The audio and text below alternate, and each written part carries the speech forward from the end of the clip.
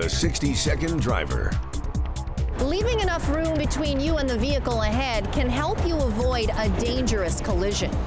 A safe following distance ensures you'll have the time to react if the person in front of you slams on their brakes or swerves unexpectedly. In the city, allow four second following distance, six seconds on the highway. In poor road conditions, allow more time. Here's an easy way to determine your following distance. A landmark on the side of the road. Any stationary object will do, whether it's a traffic sign, crosswalk, or building. I'll use the speed limit sign as a landmark.